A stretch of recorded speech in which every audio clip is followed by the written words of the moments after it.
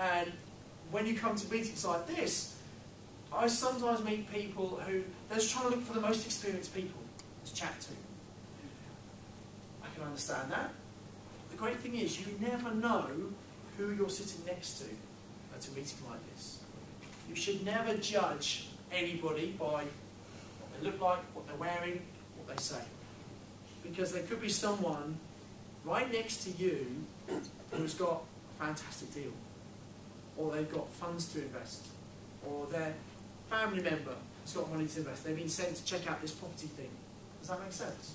So never, never judge anyone else. Always have an open mind, be willing to chat to people, to share and help other people, which is what our environment's all about.